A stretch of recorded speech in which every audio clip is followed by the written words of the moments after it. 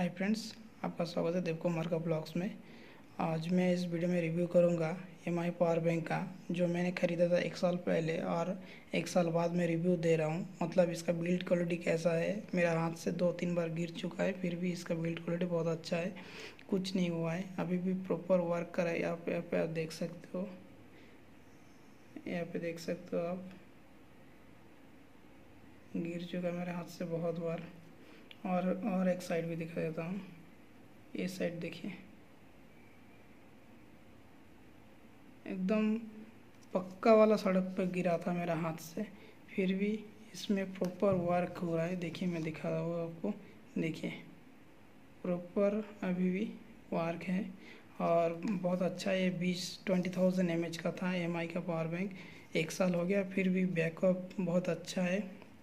Backup में कोई दिक्कत नहीं है। पावर मेरा मेरा मोबाइल ओप्पो एफ़ सेवन है, इसको चार बार चार्ज कर लेता है, बहुत अच्छा है। ट्रैवलिंग कर रहे हो, अगर आप ब्लॉगिंग करते हो, ट्रैवलिंग करते हो, उसके लिए बहुत बेहतरीन सा एम आई पावर बैंक है ये।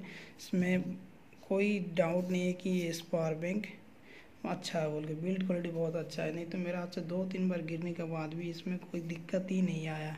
चार्जिंग भी बहुत स्पीड होता है और इसमें 18 वाट का फास्ट चार्जिंग भी दिया हुआ है। और इसमें सॉकेट से मतलब इसमें शॉर्ट सर्किट होता है ना, शॉर्ट सर्किट से भी मतलब बचाने के लिए सेफ्टी गार्ड यहाँ पे दिया हुआ है। थैंक यू दोस्तों, अगर आपको ये वीडियो अच्छा लगा है तो लाइक एंड सब्सक्राइब कीजिए।